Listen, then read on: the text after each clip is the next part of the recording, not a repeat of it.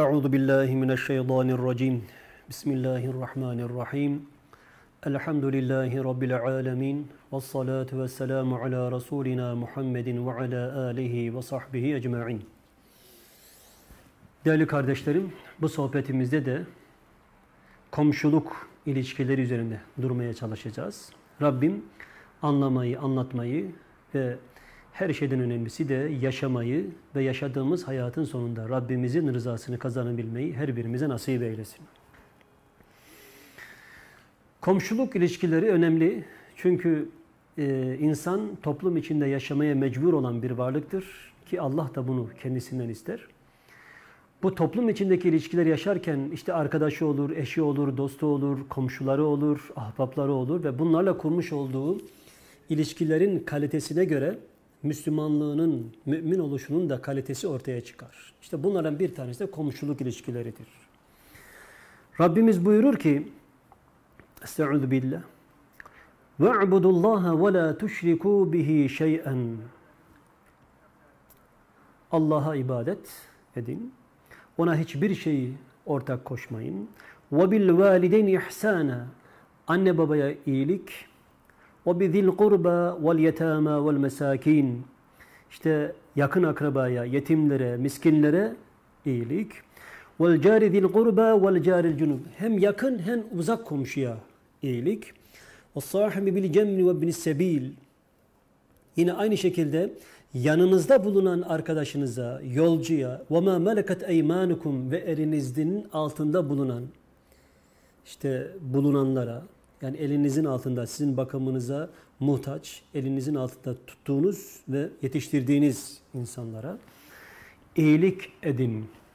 İnna Allaha çünkü Allah la yuhibbu men kana muhtalen fakhura. Allah kibirlenen ve övünen kimseleri sevmez. Şimdi komşu. Şunu unutmayalım. İyi bir Müslüman oluşumuzun delillerinden bir tanesi insanlarla kurmuş olduğumuz ilişkinin kalitesindedir.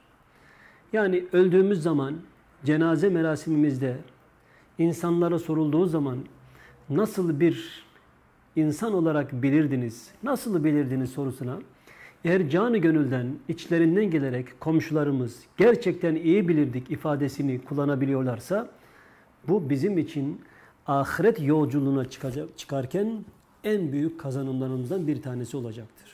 Çünkü komşumuzun bizden razı olması demek, arkadaşımızın, dostumuzun bizden razı olması demek, onunla hayatımızı yaşarken kurmuş olduğumuz ilişkilerin aslında Allah rızası temelinde kurduğumuzu gösterir. Çünkü eğer Allah rızasını gözetmeden yapmış olduğumuz ameller hususunda bir noktadan sonra insanların da e, bizden razı olmayacağını, bizimle olan ilişkilerini e, değiştireceklerine, çünkü Allah'ın rızası olmayan işlerin başka e, alanlara, başka durumlara kaydığına göre.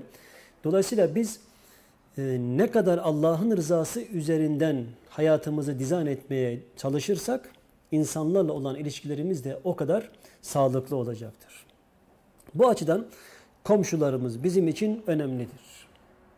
Hatta Resulullah Aleyhisselatü Vesselam buyurdular ki مَا زَالَ جِبْرِيلُ يُوصِينِ بِالْجَارِ Cebrail Aleyhisselatü Vesselam komşu hakkından o kadar anlattı, o kadar tavsiyede bulundu ki hatta zanentu ennehu seyuverrithuhu zannettim ki onu ona miras çıkılacak. Burası önemli. Onu ona mirasçı kılacak. Yani mirasçı dediğimiz zaman ne anlıyoruz? Yani o kadar yakın, o kadar yani birinci derecede yakınlarımız, ikinci derece yakınlarımız öldüğümüz zaman nasıl ki bizim geride bıraktıklarımız üzerinde bir hak talep edebiliyorlarsa komşularımız için de neredeyse aynı olacağını zannettim diyor. Öldükten sonra bizim hakkımızda komşumuz için de bir pay bırakılacak. Aslında bir pay var. Komşumuz için şöyle bir pay var. Öldüğü zaman Allah razı olsun. Gerçekten iyi bir komşumu, iyi bir arkadaşımı, iyi bir dostumu kaybettim.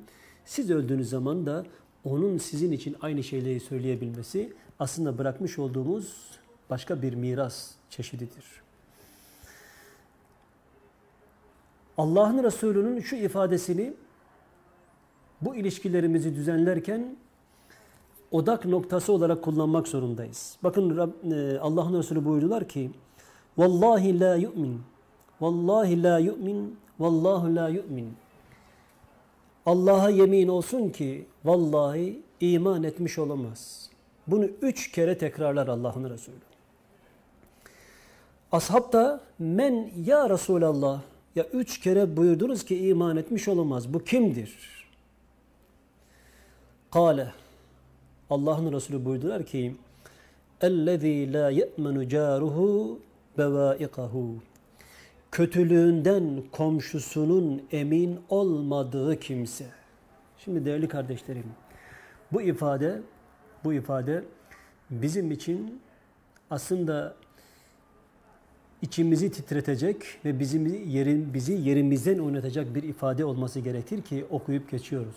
Bakın Allah'ın Resulü buyuruyor ki üç defa gerçek manada iman etmiş olamaz. Kimdir o? Komşusunun kötülüğünden emin olmadığı kimse ki gerçek manada iman etmiş olamaz. Düşünün bir komşu Ha tabii haklı manada bir komşu diğer komşusunun öldüğüne sevinecek. İyi ki öldü diyecek. Öldü de işte e, dünya bir zalimden kurtul diyecek. Bu ifadeleri biz günlük hayatımızda insanlardan duyuyoruz. Ama kimi haklı, kimi haksız, kimisi sadece kendi üzerinden hayatı okuduğu için karşı tarafa öyle bir suçlamada bulunabilir. Ama bizim için önemli olan bir başkasının ne dediği değil, komşuluk ilişkileri açısından Allah'ın çizmiş olduğu sınırlar çerçevesinde davranıyor muyuz, davranmıyor muyuz meselesidir. Eğer davranıyorsak o zaman Allah katında da bu ilişkiler ağı üzerinden bir değer kazandığımızın, bir rütbe kazandığımızın farkında olmamız gerekir. Yine Ebu Hureyre'nin konumuzla ilgili rivayet etmiş olduğu bir başka hadisi şerifte de Allah'ın Resulü bir grup insan yanında otururken onlara buyurdu ki hayırlınızın ve şerlinizin kim olduğunu size söyleyeyim mi, bildireyim mi diye üç kere tekrarlar. Onlar da evet ya Resulallah kimdir bizim en hayırlımız ve en şerlimiz? Resulullah buyurdu ki men yurca hayruhu ve yu'menu şerruhu. Bakın aynı ifadelerin değişik bir anlatımı iyiliği, hayrı umulan ve şerrinden emin olunandır. Eyvallah. Hayrı umulan ve şerrinden emin olunan kimse sizin en hayırlınızdır. Velev ki bu adam sadece beş vakit namazıyla yetinsin, sadece Ramazan orucuyla yetinsin, sadece kırkta birlik zekatıyla yetinsin, belki parası vardır yoktur hacca gitmekle yetinebilsin, hiç umresi olmasın. Ama eğer komşusu kendisinden emin, ondan bana zarar gelmez, şerrinden emin, asla bana zarar vermez, bilerek kasıtla bana zarar vermez diye bir inanca sahipse ve bu inancı ona vermişse bu, bu kişi Allah Resulü'nün ifadesiyle sizin en hayırlınızdır diyor. Peki en şerliniz ve şerrukum men la yurca hayruhu ve la yu'menu şerruhu. Hayrı umulmayan ama şerrinden de emin olunamayan kimsedir. Rabbim cümlemizi muhafaza eylesin değerli kardeşlerim. Bu durumda olmakta. Yani bir insan düşünün ki ismi anıldığı zaman insanların onunla olan bağlantıları, onunla olan düşünceleri hep mesafeli. Emin olamıyorlar. Ne yapacağını bilmiyorlar. Acaba ondan bir zarar görür müyüz? Ve şurayı da unutmayalım konumuzu fazla uzatmadan. Biz öyle bir peygamberin öyle bir peygamberin ümmetiyiz ki daha peygamber olmadan önce sonradan kendisine düşman olanların dahi hiçbir zaman e, yalanlamadıkları ve ifade olarak geri almadıkları bir e, lakapla anılan, bir sıfatla anılan bir peygamberin ümmetiyiz. Neydi o? Muhammedül Emin. Yani en azılı düşmanı bile, en azılı düşmanı bile Peygamber Efendimizin ismi anıldığı zaman o bizi kandırır, o bize zarar verir, o bizim malımızı yer, o bizim işte ona bir şey güvenemeyiz dememişlerdir. Burası bizim için çok önemlidir. Ee, işte hani Resulullah'a ittiba meselesini, sünnete uyma meselesini konuşuyoruz ya. İşte Resulullah'ın en büyük sünnetlerinden bir tanesi emin olma vasfıdır değerli kardeşlerim. Yine Resulullah buyurdu ki bi hasabimri'in min şerri en yahkur ahahum. Kişiye Müslüman kardeşini, mümin kardeşini küçümsemesi, tahkir etmesi kötülük olarak yeter. Yine evvelu hasmin yevmel kıyame el caran. Kıyamet günü kıyamet günü muhakeme edilecek iki hasım iki komşudur. İlk önce diyor bunlar kendi aralarında e, muhas, e, muhakeme edilecekler ve hak hukuklar birbirlerine verilecek veya alınacak. Önemli şeyler değerli müminler bunlar. Konumuzu şöyle bitirelim Allah'ın izniyle. Komşunun birbirlerine olan görevlerini sayıp bitirelim. Hastalığın, hastalandığında ziyaretine gitmek, öldüğünde cenazesinin kaldırılmasında bulunmak, borç istediğinde imkan nispetinde onu karşılamak, yardımcı olmak, darda kaldığında yardımına koşmak, bir nimete kavuştuğunda tebrik etmek, başına bir musibet geldiğinde de teselli etmek.